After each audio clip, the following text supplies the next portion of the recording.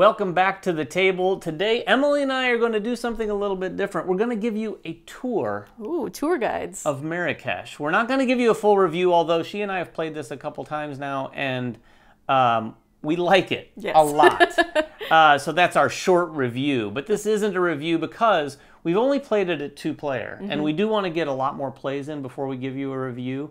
Although our hunch is that we're still going to like it, uh, we are going to get it played this weekend with more players. But like I said, we want to give you a tour of the game. This is going to give you a really good idea of what the game is doing, just shy of giving you a complete how to play Just shy. just probably just shy.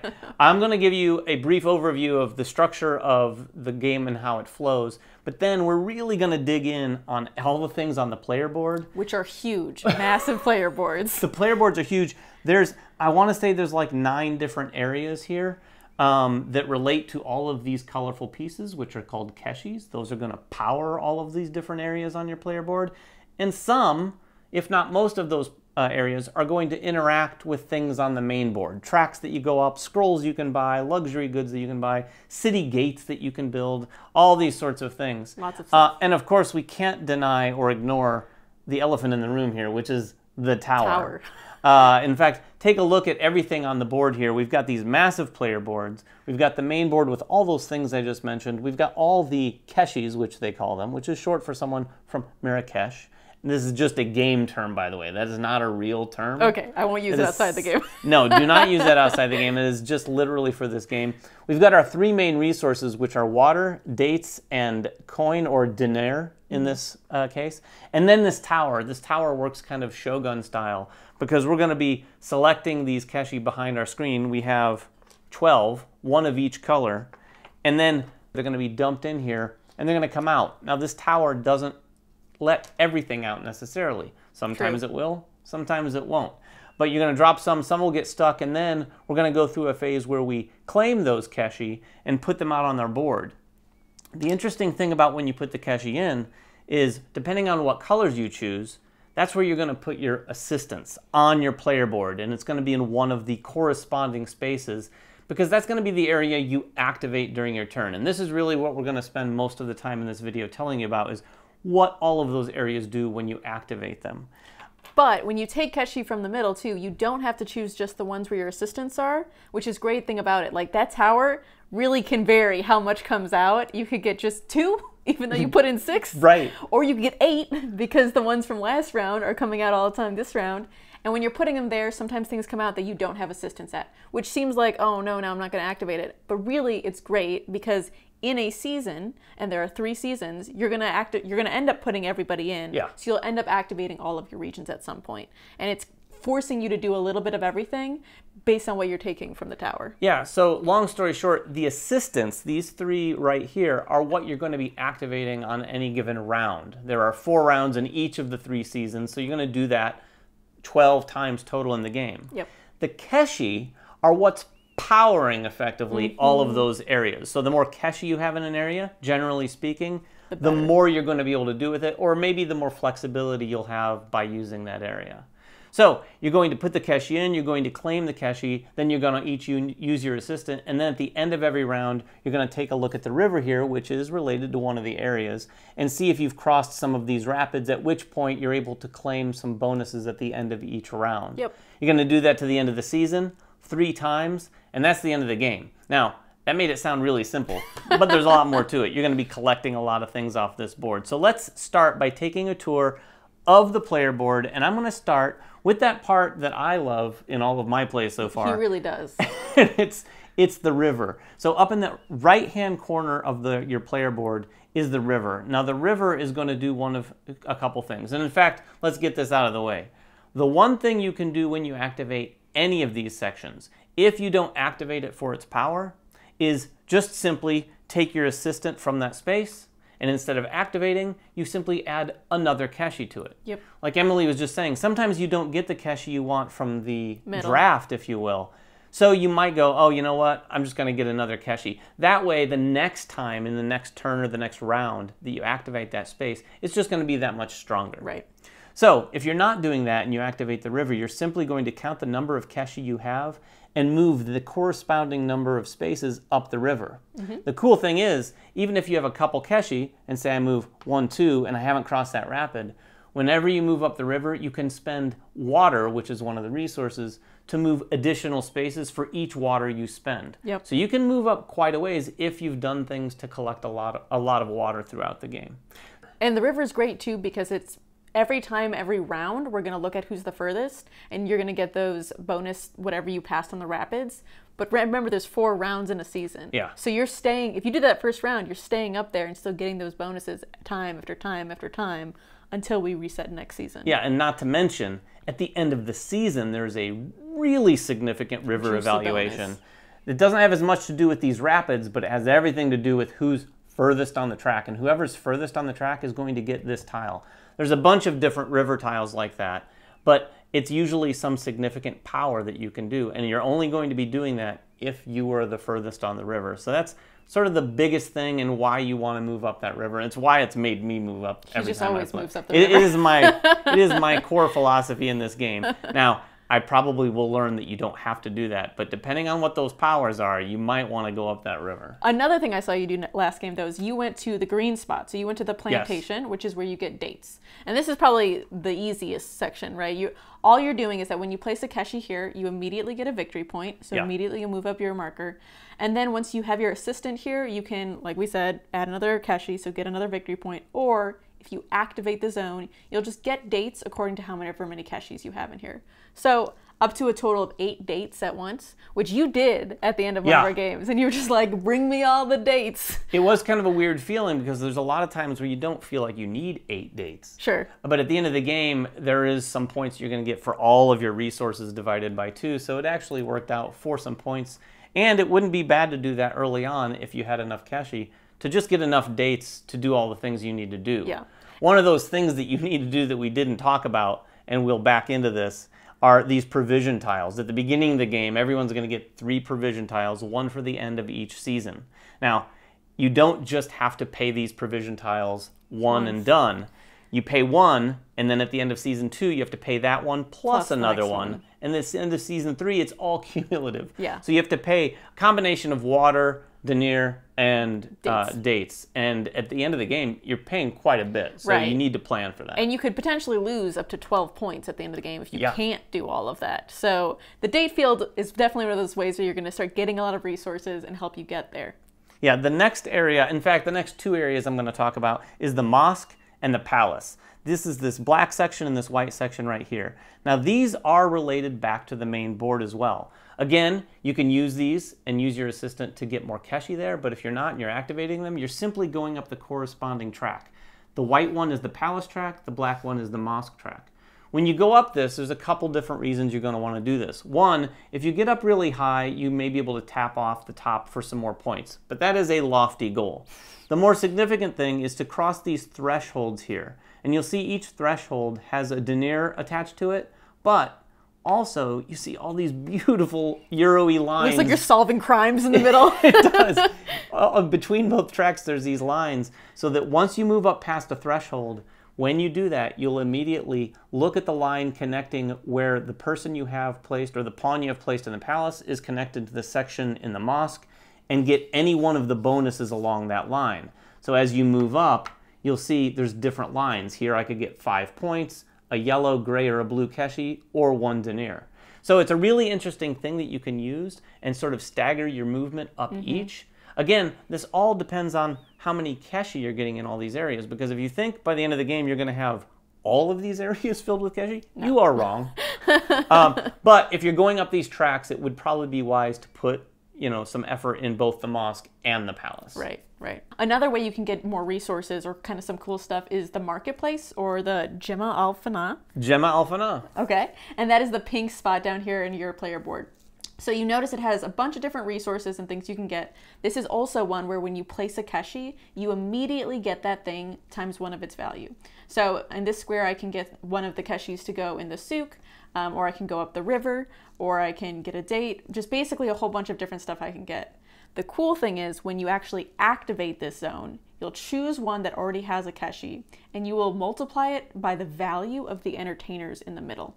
Um, and before you even do that, you will make sure to rotate this one spot. Yeah, you have to remember that because when you set up the game, you choose how you want to place that. So you never want to put your three entertainers on the first spot that you want. You want Right. to put them one, One away. counterclockwise to that space so that you can tap that and you get three of those things, or two, or one. Sure, sure. And they're also kind of different. So mine and David's aren't exactly laid out the same. So we're not going to be playing exactly the same game.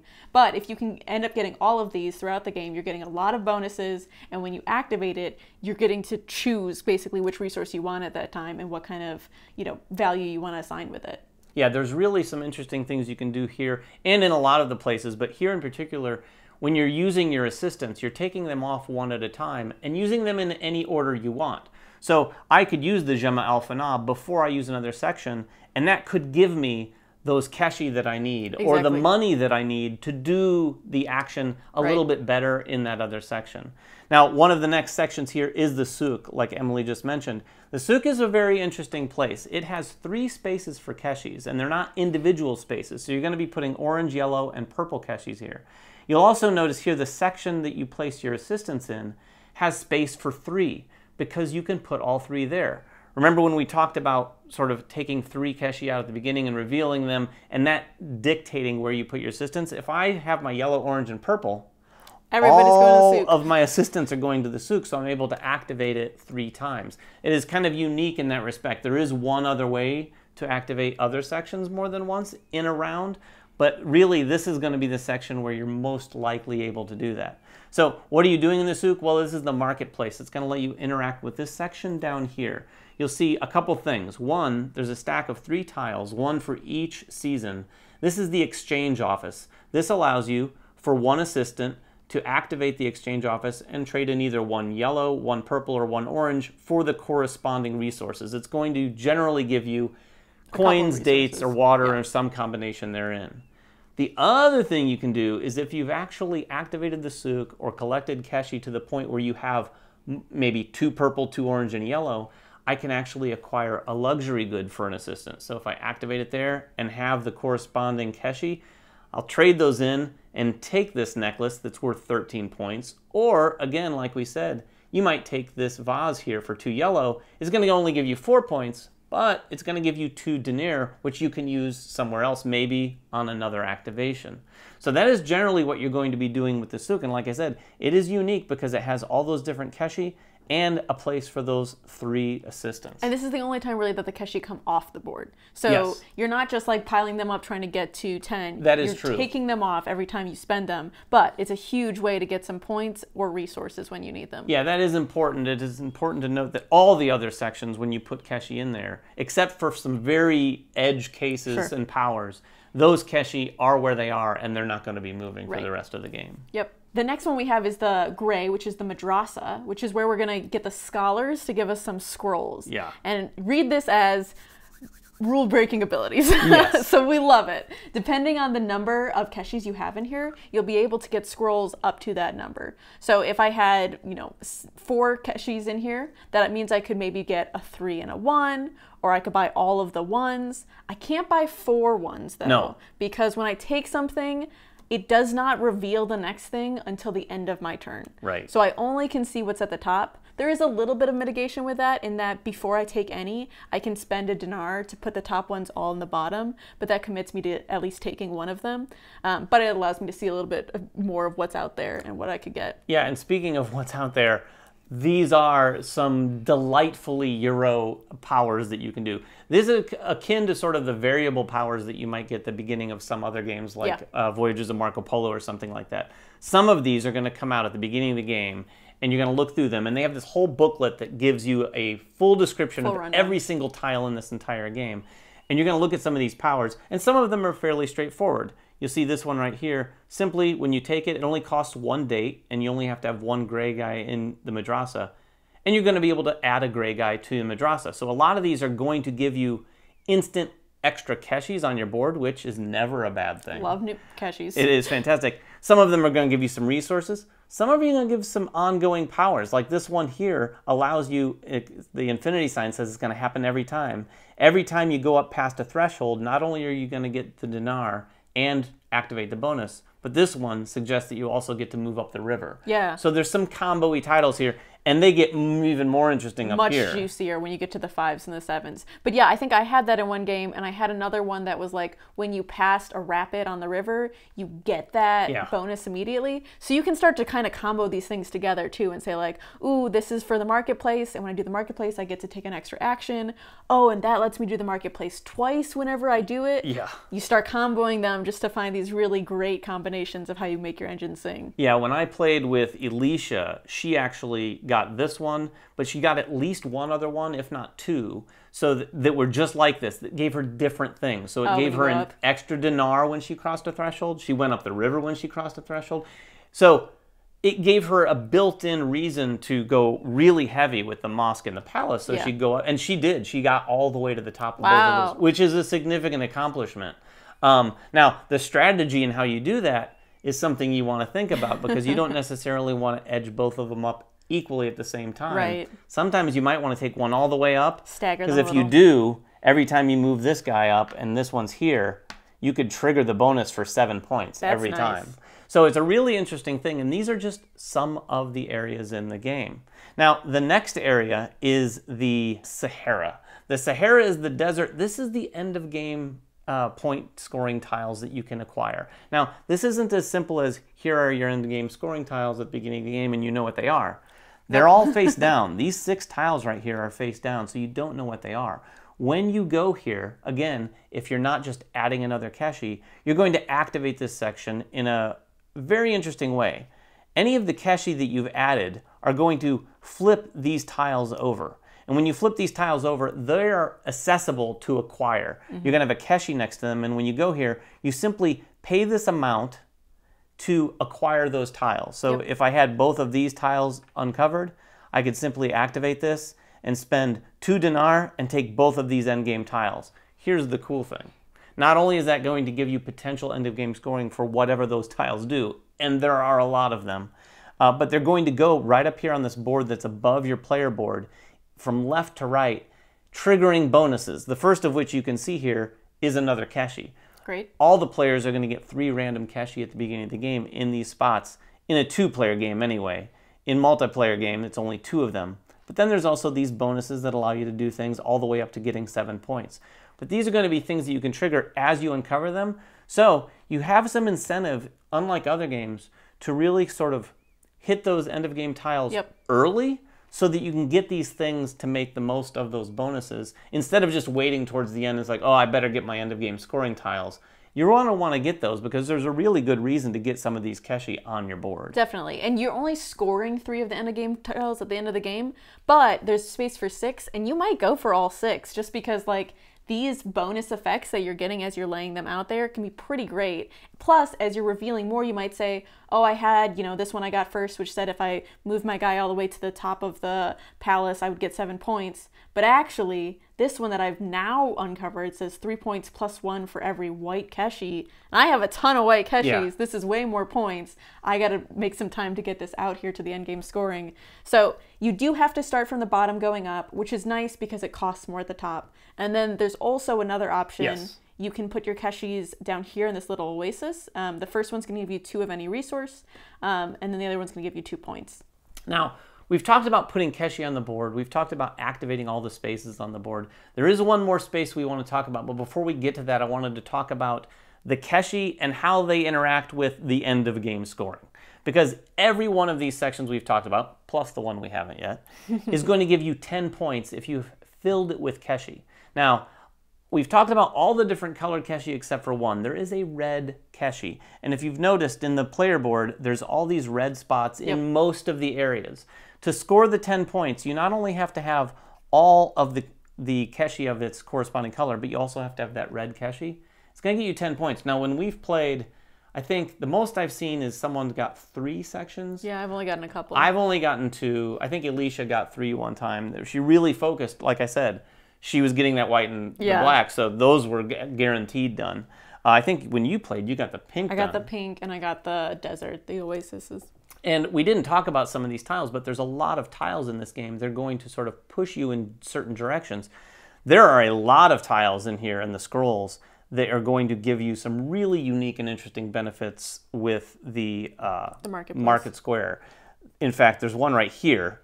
Uh, if you remember, Emily mentioned the entertainers giving you that number of whatever resource you're taking. If you have this tile, it's plus one. So instead of one, one, two, or three, it's two, three, or four, which is going to absolutely make you want to use that section as much as possible. Mm-hmm. The other thing that the red Keshi does, in addition to that end game scoring and locking those spaces down, is when you reveal the red Keshi, you don't have a red area to put your assistant. It's a wild. So when you reveal your red Keshi, you're able to take that assistant and put it in any section that you want, including a section you've already used that round or that season, mm-hmm, that which is the only other way that you can utilize, say, the river twice. So if you really want to go far up that river, if you have a lot of Keshi and you hit that twice, you're going to go up here and get some of these high points at the end and potentially position yourself so you can get that tile as well. Now, I did mention there was one other section, and it's called the Medina. The Medina is sort of this path that goes around the palace and kind of connects to all of the different areas. Now, it really only connects to them visually, but what this does is this holds all of these city gates. When you use the Medina, you're going to take any of the beige keshi that you have here in the tower, and you're going to place them in one of them at a time in these gate sections. But as you do that, you're able to buy these gates. In fact, you must buy these gates. There's these four sections up here, and it's going to cost anywhere from zero to three dinar. But as you can see, as you go up, instead of losing points down here for the free ones, you're getting a lot of points for the ones that cost three. These are randomly put out here, and when you buy one, you're going to take it, and you don't have to put it in the corresponding place. But if you do, it's going to be worth a couple points. Which is nice. The really nice thing, though, is when you take one of these, you're also going to get a keshi of that color. Yep. So if you want to get the right color and put it in the right space for those two points, fantastic. But if you really want to get those extra blue keshi that you need to finish the river, you could just go for and get the blue ones. And you've got two here and there's one here. There's only three of each city gate, so you Yep. get them while they last. But you can do that denying yourself of those two points, but getting more and more blue keshi so you can fill that area in, not only for the end game scoring points, but also to make that more powerful for the rest Keep of the game. Keep going with that engine. Yep, definitely. So that is generally the tour of what you're doing on your player board. Again, you're going to do that, and on your turn, use your three assistants in player order. Then the next player uses all three of their assistants. You're going to do this round after round, season, season after season, collecting all of these all of these things, scoring these points for luxury goods, scoring points all throughout the game, Right. and then getting a fair amount of end game scoring points depending on what end game tokens you've revealed chose. from your Oasis. And then finally, some points, not too many, from all of the collective resources you have. So that is effectively, have we missed I feel like that's the full tour. You got everything here in Marrakesh. That is the full tour. We do have another video. If it's not up on the channel already, it will be very soon. That is a round one playthrough. So you can take what you've learned here. You can take that playthrough, which I did with Alicia, and kind of combine the two and really get a thorough understanding for this game before it comes out. This game, as you may know, this was already crowdfunded. It will be delivering, I think, sometime still this year. I do also believe there is a retail edition of this game on its way from Queen Games. Definitely take a look for this, and we will probably have a full review for it sometime closer to when the game comes out. We do want to get more plays of it in, but as you can probably tell, We're very excited. we're pretty enthusiastic about this one. It does a lot of the the things that we all like about games. There's a lot of really really satisfying turns, and I have to say, if the idea of putting uh, Keshi in this tower and not knowing exactly what's going to come out or not turns you off, give it a chance because it's so fun. it is a lot of fun. It adds a lot of excitement to every round because there's been times where we knew there were three Keshi in the tower. Right, we dropped in six out. more. That's a total of nine if you're not doing the math, and two came out. so that was a what felt like at first like oh we're not going to get a lot of Keshi, but you're still activating your your Yeah. assistants. And if it's early game, you're probably adding Keshi. But if it's late game, you've probably already got a lot of Keshi Yeah. on the board. So you're having some satisfying turns. But oh boy, satisfying is that next round when you put in six more Keshi and so many probably Yes. come pouring out because then you're collecting all sorts of Keshi and doing all sorts of things. Anyway, If you have any questions at all about about this game after this incredibly thorough tour of it, please make them in the comments below and we will try to answer absolutely everything we can. Until next time though, make sure everyone has fun at the table and we'll see you then.